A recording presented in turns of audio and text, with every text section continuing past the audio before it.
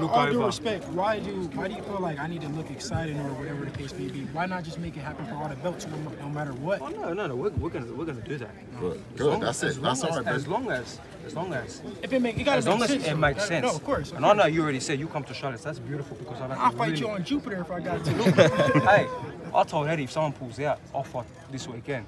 Nah, Regardless of the cut. nah, nah, I'll nah, fight this nah, weekend, nah, but no one's Do you respect out. Devin as a champion yeah, in, you- in your you got the division? belts now. Do you, got- do you respect him as a champion in your division? Yes, of course I respect him. I always have respected him, and he knows how much I've respected him, and there is a mutual respect here.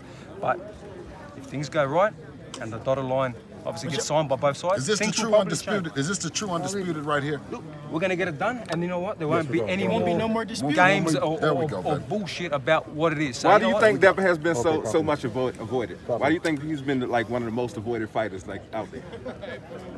He's a talented guy. No, no, no, no uh, disrespect there.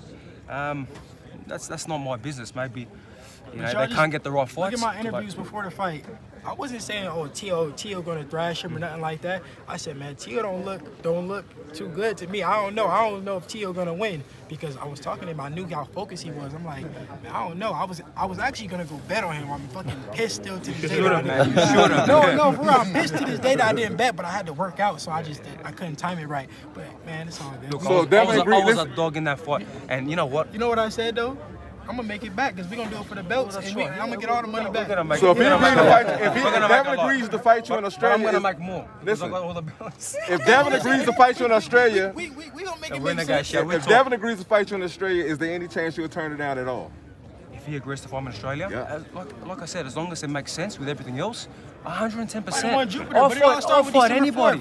4th. We gonna get past December 4th. Yes, we focus. gonna make it happen. Focus on That's it. Jojo. How- how you feel about fighting in Australia? Man, bro, I wanna pull that TO card. Focus on December 4th. December 4th. December 4th. I'm, I'm